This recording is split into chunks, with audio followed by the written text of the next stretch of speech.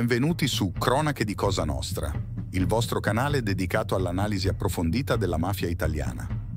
Nel nostro primo episodio esploreremo la figura oscura e sinistra di Leoluca Bagarella, uno dei protagonisti più spietati della storia di Cosa Nostra. Leoluca Bagarella è stato un'icona del crimine organizzato italiano, noto per la sua ferocia e il suo ruolo di spicco all'interno della mafia siciliana.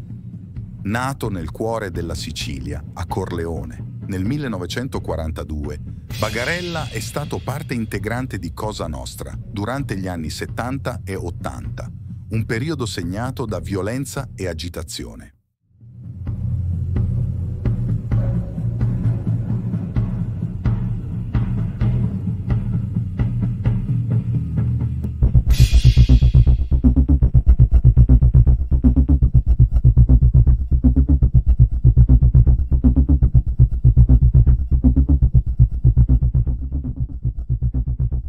Bagarella non era solo un membro qualunque di Cosa Nostra, ma un capo spietato, corleonese doc, noto per la sua partecipazione diretta in numerosi omicidi e azioni violente. Era un uomo senza scrupoli, deciso a mantenere il controllo attraverso il terrore e l'intimidazione. La sua reputazione per la brutalità era tale che la sua stessa presenza poteva spaventare anche i più coraggiosi. Molti avevano paura solo a guardarlo dritto negli occhi. Abbassavano gli occhi intimiditi dal suo sguardo. Molte volte era lui stesso a strangolare le povere vittime, per poi sciogliere i corpi nell'acido senza pietà. Don Luchino, così che si faceva chiamare, a differenza di molti capi esponenti come Totò Riina, Matteo Messina Denaro, i fratelli Graviano, Bernardo Provenzano, non finalizzava i suoi omicidi solo come mandante, ma si esponeva proprio lui, in prima persona. Ascoltate alcune testimonianze dei collaboratori di giustizia su Don Luchino. Parole. Chiede che venga data la parola al suo assistito, imputato Bagarella. Allora, prego, Bagarella, dica. Vuole fare vorrebbe fare confronto con, con eh, la Barbera.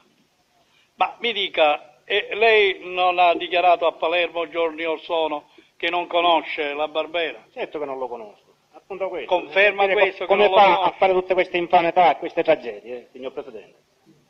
Questo sta barattando la sua libertà con quella mia e con quella di tante altre padri bene. di famiglia. Vabbè, e allora, e allora guardi Bagarella, eh, ascolti, cioè, siccome c'è una precisa richiesta in tal senso, prima diamo la parola al pubblico ministero, vediamo che cosa ne pensa in ordine a, questa, a un eventuale confronto tra il La Barbera e il, il Bagarella.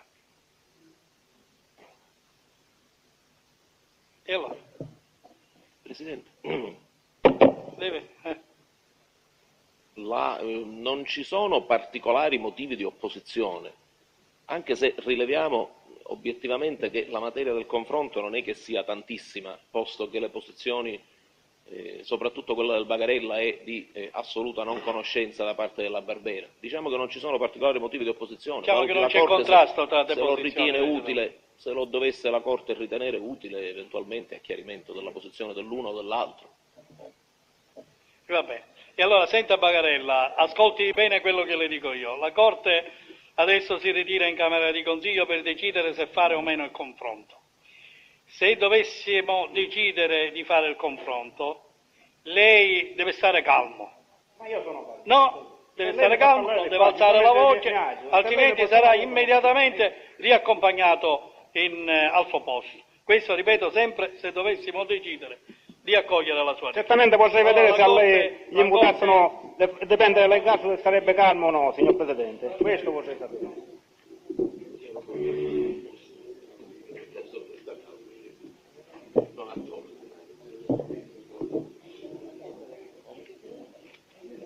Enrico, quando si vede?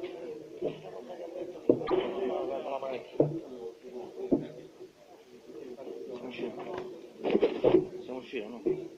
Rivolti verso, verso quella sede. Appuntato, se lei mi fa la cortesia può venire pure lei.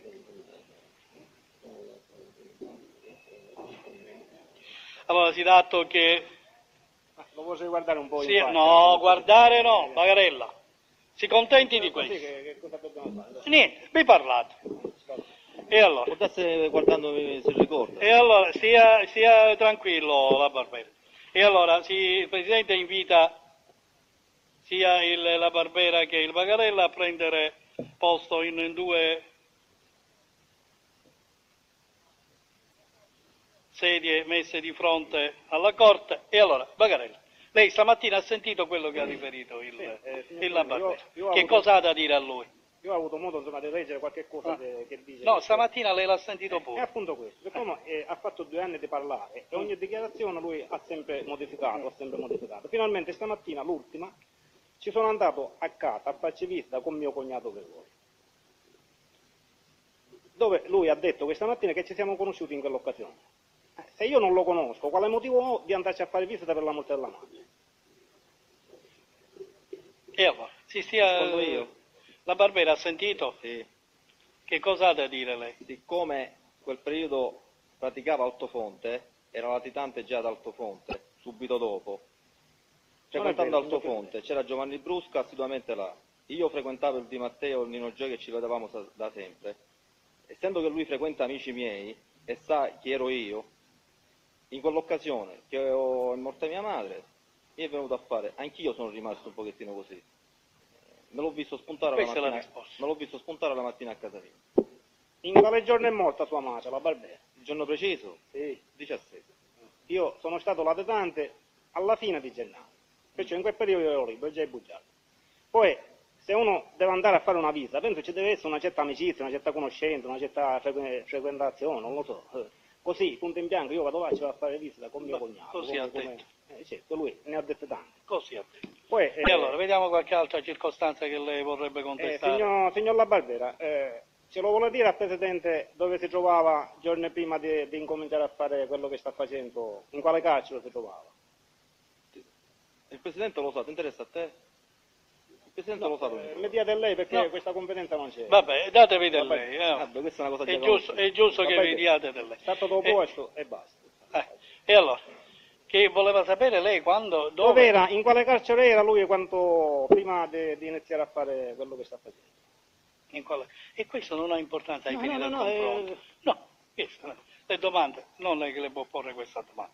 Andiamo avanti, lei può allora, contestare Se, gior- determinate... se giorni prima di lui incominciare a fare eh, queste cose, se è stato invitato qui a Rebibbia, a Roma, e se si è incontrato con persone, A Rebimbia con persone. Io ero carcerato, con chi mi dovevo incontrare? E con chi si è incontrato? E che cosa le, le hanno proposto?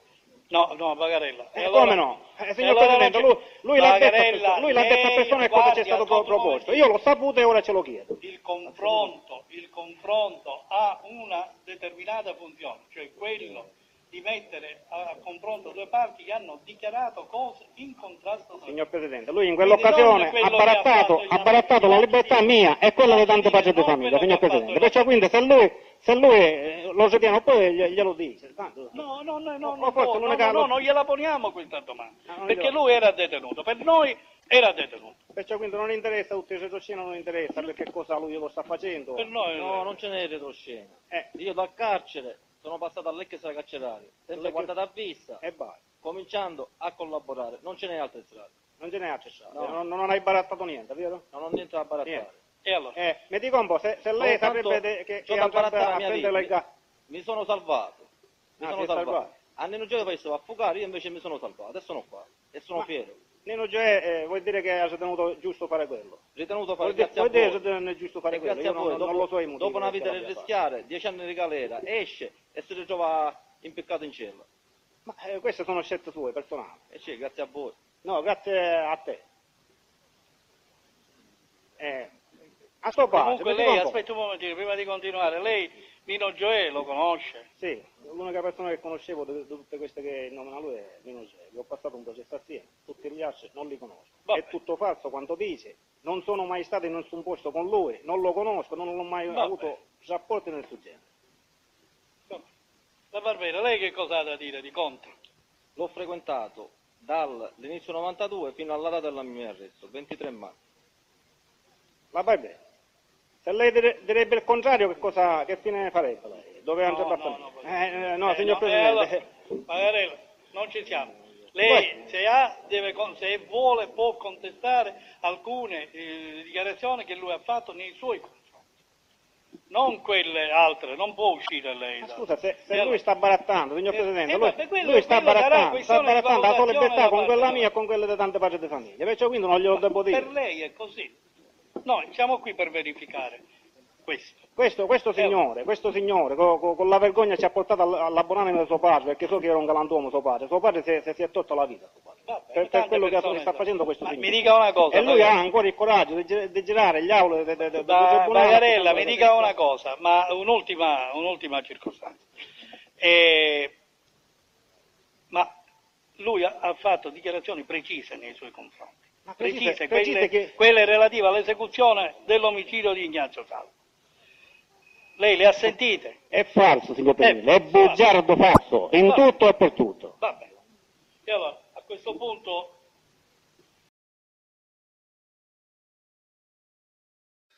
sempre nel periodo antecedente la guerra di mafia, lei ha avuto modo di avere rapporti diretti, personali, con eh, Riina, con Provenzano, con Bagarella, con i, con- con i Corleonesi? Sì, sì, come no, io mi ricordo quando avevo il compito delle armi che sono scesi giù a Palermo il signor Totorina e il signor Bino Provenzano e, e li tenevo io latitanti in una mia proprietà di Santa Maria di Gesù. Poi eh, si sono inclinate un pochino le cose e loro sono andati via in, in altri posti. Per quanto tempo li ha tenuti, ne ha gestito la latitanza a Palermo? Ma per un paio d'anni, dottore, poi si sono inquinate le cose, le spiego perché, perché incominciai a vedere delle cose, ho saputo delle cose che non mi andavano più bene, signor Totorina e Provenzano, anche se Provenzano era un killer eh, che mi era sempre accanto.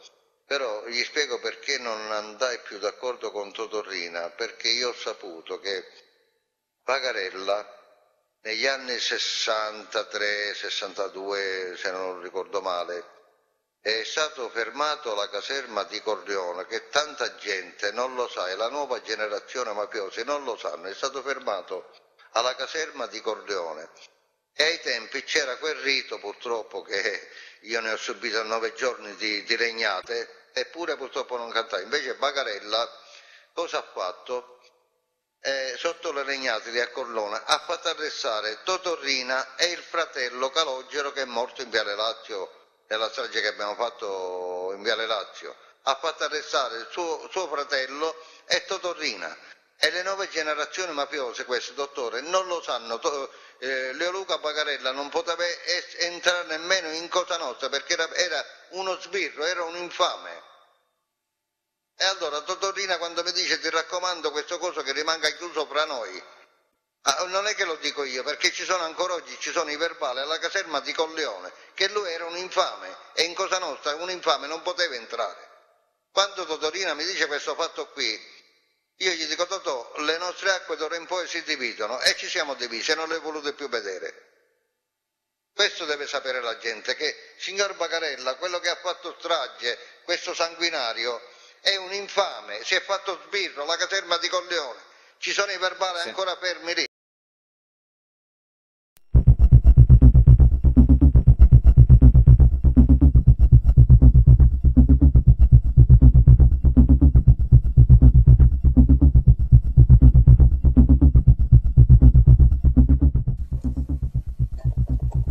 Allora, in questo- a questo punto noi avevamo in sospeso la richiesta di dichiarazioni spontanee da parte di Rina. Ci sente da Parma? Dunque, sì, signor Presidente, è a distanza di tempo che non mi ricordo bene le cose, è la giornata, se il 14 o il 15 di, di- gennaio del 93 che abbiamo arrestato.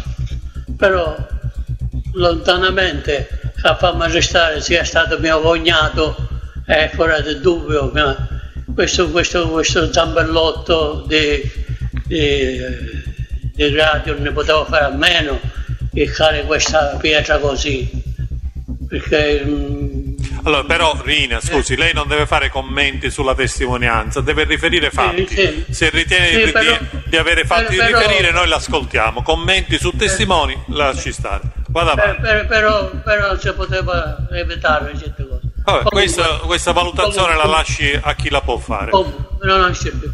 Mi dica mio cosa, cognato- cosa vuole mio dire in cognato- relazione ai fatti in Mio concreto. cognato non mi ha fatto arrestare né a me e ne ha fatto arrestare ad altri. Quindi mio cognato è un galantuomo. Vabbè, Io questo da dire non ho più niente altro da dire. non ha altro da dire, va bene. Allora possiamo fermarci allora qui. Allora, riprendiamo invece noi. Noi avevamo in sos- intanto in sospeso la richiesta di, eh, mm, sì, di- l'interpello delle difese sulla richiesta di confronto Canali Cibilia che è stata avanzata dal pubblico ministero a due udienze fa, credo. C'era l'avvocato. Presidente, la Sì? numero C1, Sì? possiamo intervenire? L'imputato Bagarella vorrebbe rilasciare dichiarazioni. Eh, E allora, Bagarella, sentiamo.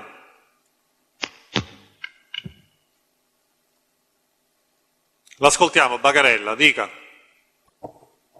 Allora, noi non sentiamo più il Il colore acceso. Ah. Eh, forse mio cognato non, ho- non ha capito che si tratta della carcerazione del Eh, poi, 1963. Bagarella, non è che lei deve suggerire quello che deve dire suo cognato. 60, suo eh, cognato, de- come imputato, può 93. fare delle dichiarazioni spontanee. Ed è quello che ha fatto. Non è che lei può suggerire o scegliere quello che può dire o non dire. Ha detto quello che ha detto. Se non le Vabbè, bene, allora, noi ne prendiamo atto, ma non Mio può, non può 1963, sostituirsi. Bagarella, lei non può 1963. sostituirsi a, a quello che deve dire il RIN. Lei faccia le sue dichiarazioni No, noi io Siccome ho capito che parlava del 93, E così ha detto. e Grado faceva riferimento al 1963, Allora, la prima ripeto, carcerazione che abbiamo passato ripeto, per Bagarella, un'associazione. Bagarella, mi ascolti, ripeto, lei non può sostituirsi a No, quello... no, io non mi sostituisco, Eh, allora, allora continuo faccia- io con la mia dica dichiarazione quello spontanea. che ci vuole dire lei Eh, e noi l'ascoltiamo. allora, Grado dice- Ma non ci dica quello che avrebbe dovuto dire suo cognato. E allora, ci dica lei. Eh, Grado ha detto l'altro giorno Sì. che nel 1963 io feci arrestare mio cognato, all'epoca non eravamo cognati, Zina Salvatore e mio fratello. E allora, Tanto che vi invito ad andare alla caserma dei carabinieri a cercare i verbali. Ebbene, se non ricordo male, eh, Zina, mio cognato ora, è stato arrestato verso novembre del fi- eh, eh, fine novembre del 63. Sì. Io sono stato arrestato verso il mese di, il 20 di giugno del 1964. Mio fratello era latitante, è rimasto sempre latitante e tuttora è latitante. Quindi io non ho fatto arrestare a nessuno. Grado, a posto di parlare di queste cose, che a me l'altro giorno, eh, volevo prendere la parola l'altro giorno, però ero troppo, troppo, troppo arrabbiato, e ho preferito parlare insomma con la canna. Dovrebbe raccontare quanto ha fatto fare assieme a Contorno l'arresto dei 162 a Palermo. Quanto che questi, Contorno e lui, che poi si è saputo al maxi processo, venivano chiamate prima luce. Hanno fatto arrestare 162 persone, che poi questo pro- processo ha inf- coinfluito nel maxi processo di Palermo.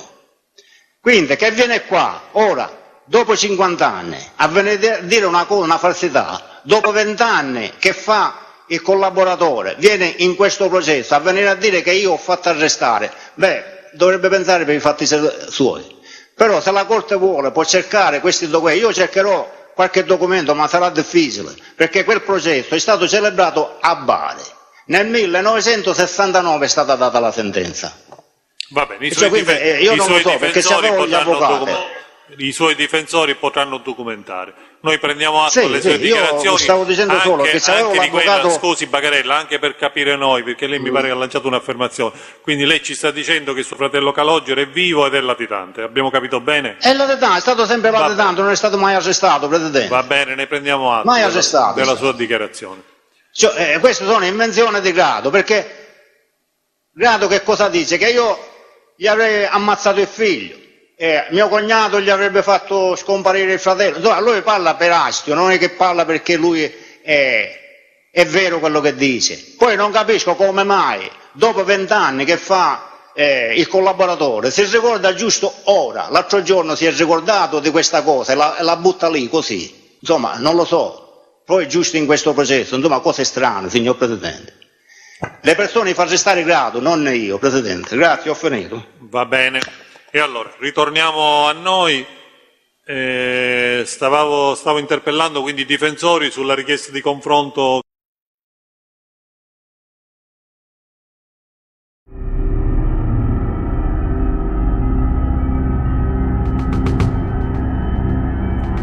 Epocale fu il confronto con Pasquale De Filippo, cognato di Bagarella, fratello della moglie di Don Luchino, Vincenzina Marchese. Divenne ufficialmente uomo d'onore riservato nel 1994, formalmente combinato da Leoluca Bagarella, che dal 1993 era a capo della commissione, e da Antonino Mangano, quest'ultimo divenuto reggente del mandamento di Brancaccio dal 1994 diventa a tutti gli effetti componente del gruppo di fuoco di Bagarella. Bagarella mise un uomo di fiducia all'interno nel suo gruppo di fuoco, proprio Pasquale De Filippo. In questa registrazione sentirete la ferocia di Bagarella nei suoi confronti. Da brividi il modo in cui parla a suo cognato De Filippo.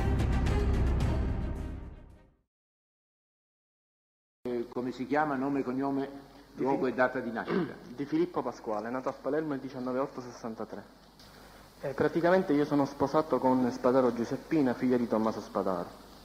Mia sorella è sposata con Marchese Antonino, cognato di Bagarella Leoluca. Ma che interesse Quindi... avrebbe avuto Cosa Nostra a bloccare il turismo?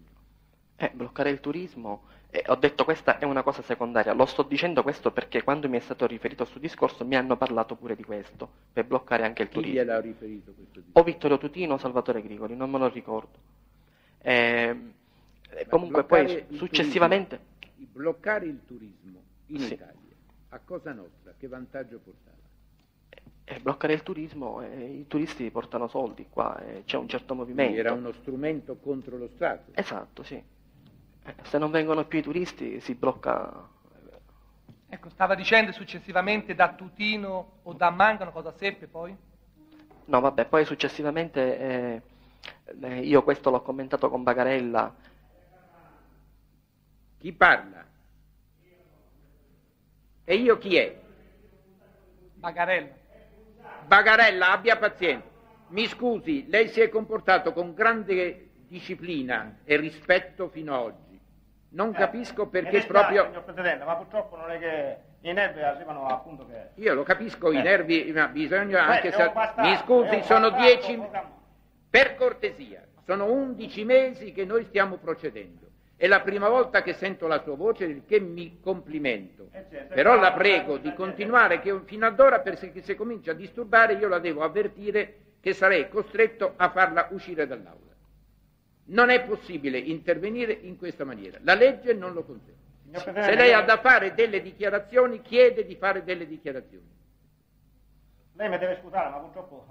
Signor che Presidente, visto che, visto che io sto dicendo delle bugie... No, eh, per cortesia no, no, lei non ha possiamo diritto- fare Mi pure un scusi, confronto. lei non ha diritto di parlare in questo momento. Per cortesia No, no, lei non ha possiamo diritto- fare Mi pure un scusi, confronto. lei non ha diritto di parlare in questo momento.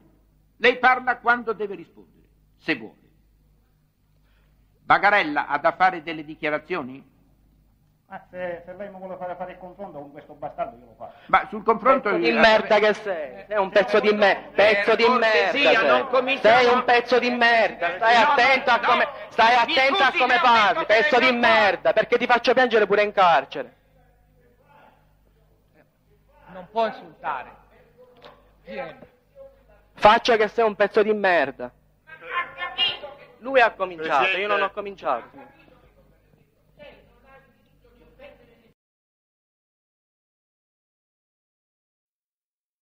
Irrina spessissimo parlava di Bagarella, ci faceva capire a noi, chiarissimo, spiegava che suo cognato era un validissimo killer, era uno che non aveva paura di niente, era capace eh, se doveva andare a ammazzare qualcuno, entrare pure in una caserma dei carabinieri, ci andava a sparare là, perché lo riteneva un- un'abilità enorme Quindi ci spiegava questo in tutti questi anni e io a volte ci dicevo ma io non lo conosco, lo vorrei conoscere.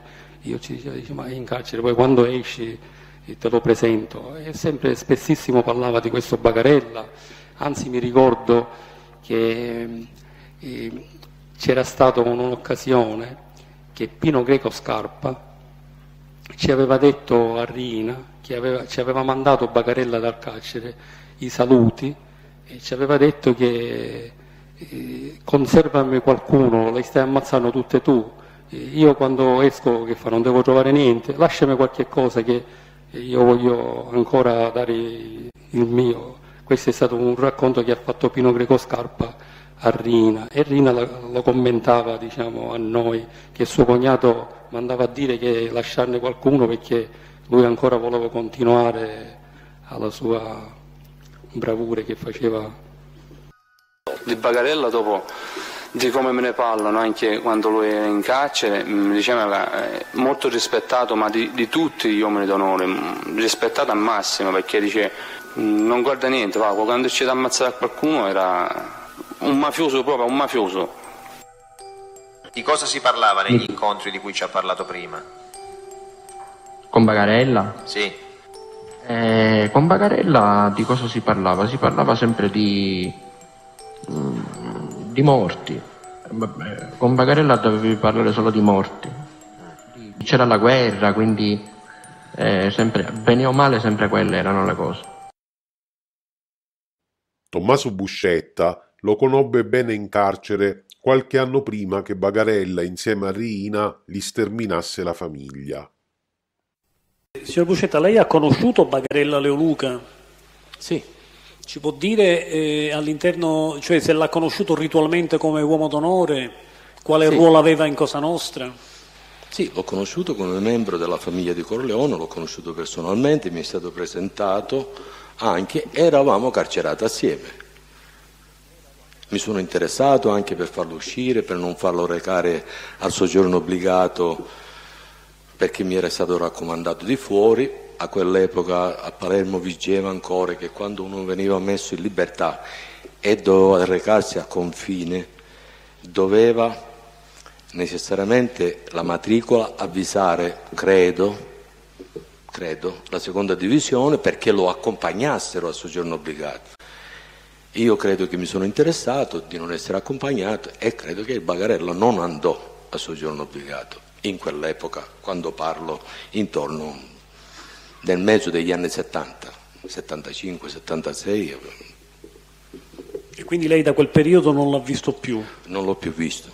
Prima domanda, lei ha conosciuto Bagarella? Io l'ho visto una sola volta, che me l'ha presentato uh, Lorena, in un ristorante che si chiamava, aveva qualche cosa a che fare con i cavalli, la, la scuderia, sì. sì e, e al di sopra del, dello stadio verso, mi pare, per andare alla favorita, lì sopra, non le so di essere preciso. In che anno avvenne questa presentazione? Ma uh, a partire, come dicevo, in questo periodo che io frequentavo Palermo perché mio fratello era a Lucerdone, perciò dal a partire dal luglio del 71 fino al 73, ma nel mezzo, pare 72, non le posso essere preciso. Senta, la presentazione ebbe i caratteri cosiddetti della ritualità all'interno di Cosa Nostra? Cioè come uomo d'onore. Glielo presentò come uomo d'onore? Sì, signore. E poi non l'ha più visto, cioè lo conobbe solo... No, no, no, no, perché i corleonesi, non so come è stato che me l'ha presentato, i corleonesi non presentano i suoi uomini. È difficile, devono avere molta fiducia per presentare i suoi uomini ad altri. Ho capito. Senta, tornando un po' all'imputato, cioè a Bagarella, ci può dire ehm, all'interno di Cosa Nostra qual era il ruolo di Bagarella, qual era anche la figura di Bagarella, per come lei l'ha personalmente conosciuto? Io l'ho conosciuta innanzitutto verso il 75-76. Ci vedevamo alcune volte in lui se la faceva in, eh, alla vocceria, eh, in un negozio di formaggi di un uomo d'onore della famiglia che apparteneva a Pippo Calò, comunque nel mandamento, apparteneva al mandamento Calò, eh, Gaetano, Gaetano Calista, ci frequentavamo spesso lì. Lui era un uomo d'onore, era un soldato, non aveva carica, Luca Bagarella, ma era una persona molto valida e spietata, come del resto quasi tutti i componenti della famiglia di Colleone. Poi l'ho conosciuto, siamo stati per moltissimi, moltissimi anni in carcere, l'ho conosciuto e siamo stati molti anni in carcere assieme, anche se saltuariamente. Lo conosco molto bene, è una persona molto valida e molto irruente. Senta, mi vuole, vuole specificare alla Corte, quando lei dice una persona molto valida, in pratica cosa significa? Cioè valida da che punto di vista? Parlo sempre sì. come uomo d'onore all'interno di Cosa Nostra, ovviamente. E la validità in seno a Cosa Nostra sta a significare la, la bravura, la personalità dell'uomo e la capacità di commettere delitti e, non avere, non avere diciamo, nessun, nessun, problema ad, ad, agire, comunque ad essere una persona molto, molto in gamba soprattutto a commettere omicidi. Ecco, il valido si intende in questo. Una validità certamente negativa, ma comunque in seno a Cosa Nostra, valido significa che ha screzzo del pericolo, che è una persona molto in gamba a commettere omicidi capito. Io ho finito, Presidente.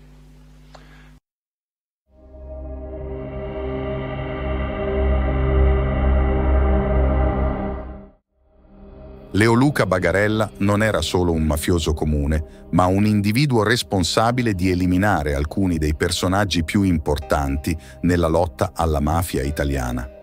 Tra le sue vittime più significative si annoverano il giudice Giovanni Falcone e il giudice Paolo Borsellino eroi nazionali che hanno dedicato le loro vite alla lotta contro il crimine organizzato. Bagarella, insieme ai suoi complici, orchestrò attentati terroristici che portarono alla morte di Falcone nel 1992 e Borsellino pochi mesi dopo. Questi attacchi non solo hanno sconvolto l'Italia, ma hanno anche evidenziato la brutalità e la determinazione di Bagarella nel preservare il potere della mafia.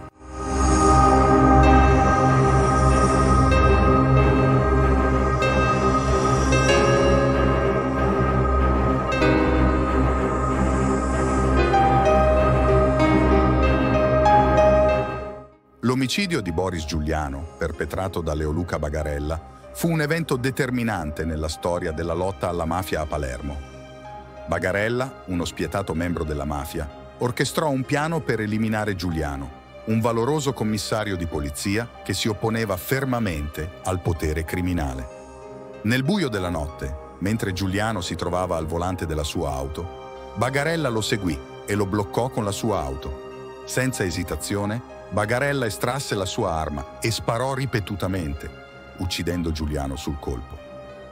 Questo atto brutale segnò la fine della vita di un uomo coraggioso e devoto al dovere, ma anche l'inizio di una nuova fase nella lotta contro la mafia, poiché l'omicidio di Giuliano alimentò una determinazione ancora maggiore nel combattere l'illegalità e portare giustizia ai responsabili. L'omicidio di Boris Giuliano rimane un triste ricordo della violenza e della crudeltà della mafia, ma anche un simbolo della forza e della resilienza di coloro che si oppongono al crimine organizzato. Altro atto orribile come mandante da parte di Leoluca Bagarella fu il sequestro del piccolo Giuseppe Di Matteo. Giuseppe è una delle figure più tragiche nella storia della lotta contro la mafia in Italia. Figlio di un pentito, Santino di Matteo, Giuseppe divenne vittima dei violenti intrighi della mafia siciliana. Il 23 novembre 1993, Giuseppe di Matteo, all'epoca quattordicenne, fu rapito in provincia di Trapani da degli uomini travestiti da poliziotti che con la frase «Ti portiamo da tuo padre» acquistarono la fiducia di Giuseppe, inconscio del futuro che lo stava aspettando. I sequestratori, membri della mafia, lo portarono in una casa sicura, dove fu tenuto prigioniero per oltre due anni.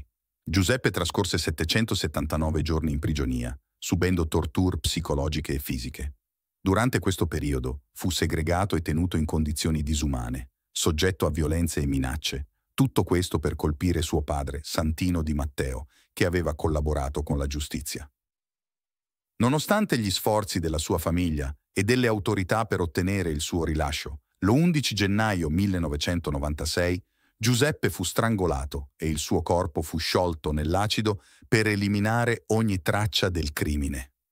Questo atto brutale fu perpetrato su ordine di Giovanni Brusca, sotto consiglio di Leoluca Bagarella, che con la frase «fai sparire Ucagnu Leddu» ordinò la morte del piccolo Giuseppe. Ecco la testimonianza del suo omicidio. Presidente. Chi è che protesta là? Chi è che non deve stare nell'aula? Allontaniamolo. Eh, dobbiamo uccidere il bambino. Eh, noi avevamo preparato per l'altra occasione uh, due, fusti, due mezzi fusti di acido. Lo entriamo dentro la casa per non fare rumore, lo eh, ovattiamo, lo mettiamo, mettiamo degli stracci sotto per non fare rumore, per tagliargli il coperchio.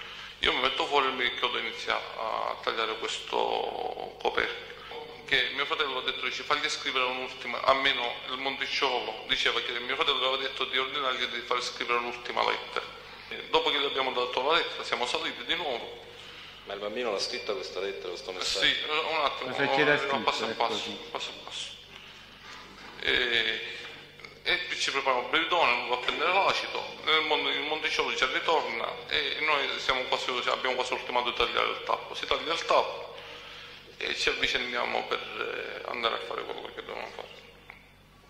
Mettiamo sull'ascensore il fusto senza fare rumore per non far allarmare il bambino o i bidoni con l'acido, scendiamo tutto a piano, in, a piano terra ha aperto la porta, anzi no, prima gli ha detto perché noi per esempio quando in altri posti siccome c'era la finestra, ogni tanto entravamo e lui sapeva che si metteva in un angolo girato e noi controllavamo se lui cercava di rompere queste finestre, queste perché erano fatte debole. Noi lo sapevamo che era debole, lui no, però cercavamo di, di, di non farglielo capire, davamo sempre una controllata se faceva qualche cosa. E lui gli sembrava un solito controllo come era avvenuto nei tempi passati. Perciò oh, si mette all'angolo del muro, oh, apriamo oh, questa porta di ferro, c'erano alcune spisse che sembrava che comunque eh, c'erano alcune cose messe dietro. Abbiamo detto questa cosa, aperto la porta e, e l'unico che si mette il passamontagna per non far dormire il bambino è il, il, il chiodo, perché ormai non è... Cioè, io ho detto pure che, però per evitare di e entriamo tutti e tre, prima entra il chiodo, poi io e il monticciolo assieme.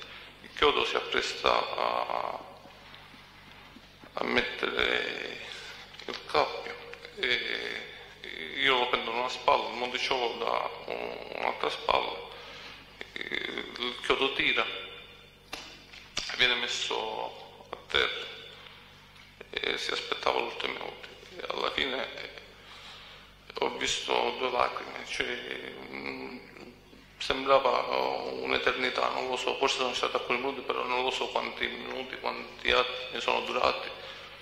Non, eh, cioè, comunque è, finito tutto, abbiamo messo dentro il bidone, abbiamo versato l'acido e la mattina uh, abbiamo svuotato il tutto.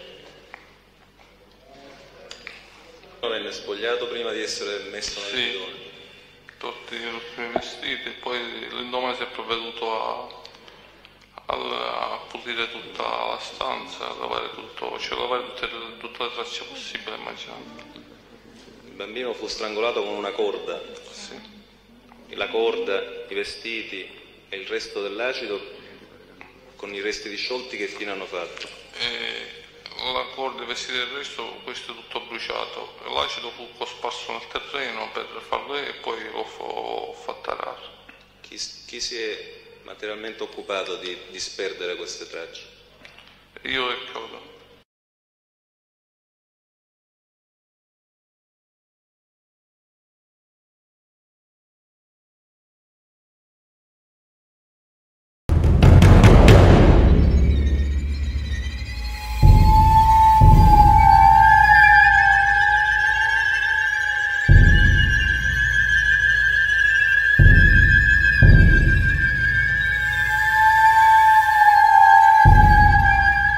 Altro terribile e agghiacciante omicidio di Bagarella fu quello di Gaetano Buscemi, piccolo imprenditore di Villabate, nipote di tale Giuseppe Di Peri.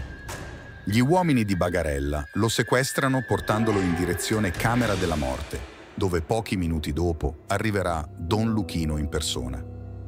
Viene interrogato per oltre otto ore, preso a schiaffi di continuo. Buscemi ha 40 anni, è un mafioso di piccolo calibro e, obiettivamente, ha poco da raccontare. È solo capitato in un gioco di potere più grande di lui, un gioco tra Bagarella e Igraviano da un lato e Provenzano e Aglieri dall'altro. Nello stanzino lo interrogano per ore. Bagarella lo incalza. Vuole sapere tutto sulla famiglia di Peri, anche quello che Buscemi non può dire perché non lo sa. Gli hanno messo una corda al collo, una corda sottile e ruvida. È terrorizzato, ma è lucido. Tanto lucido da stipulare uno strano quanto macabro patto con i suoi assassini. Sa che la sua sorte è segnata e che non ha la minima possibilità di salvarsi la vita mette sul piatto della bilancia l'unica richiesta che potrebbe forse essere accolta. Si dice disponibile a raccontare loro tutto quello che sa, a patto che il suo cadavere non venga sciolto nell'acido, che almeno sua moglie e i suoi figli possano avere una tomba su cui piangere. Ancora oggi rabbrividisco a pensare alla forza morale dimostrata nell'occasione da quell'uomo, da quel condannato a morte. Avuto l'assenso di Don Luchino, Buscemi svela che suo zio, Giuseppe Di Peri, faceva esclusivo riferimento a Pietro Aglieri, legatissimo a sua volta a Provenzano, e che di recente aveva incontrato delle persone, forse proprio qualcuno degli scappati a Marsiglia. A queste rivelazioni Bagarella sospende il verbale e manda Calvaruso a cercare Giovanni Brusca per fargli sentire in diretta quelle informazioni che, secondo lui, costituiscono la prova del doppio gioco di Provenzano ma il boss non si trova.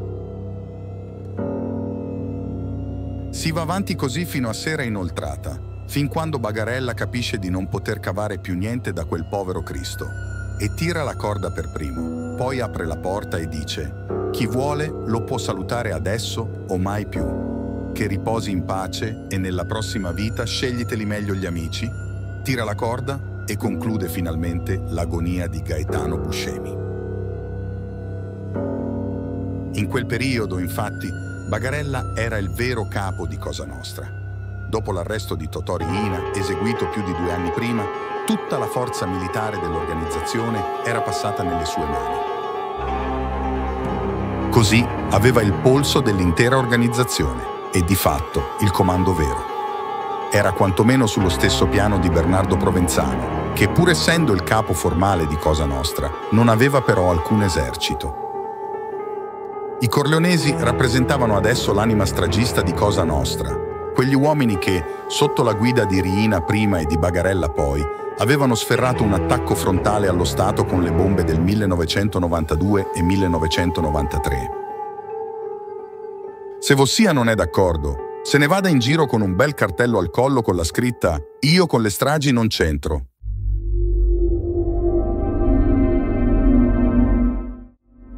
Quando arrivato in caserma, il magistrato gli chiede le domande di rito e la possibilità di una sua collaborazione. Don Luchino è freddo e deciso.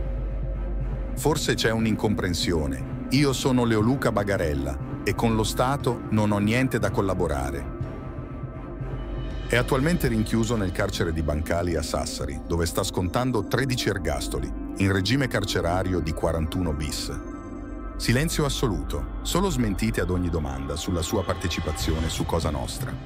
È ancora in vita, porta con sé i segreti più oscuri di Cosa Nostra e della mafia stragista. La sua pena non finirà mai.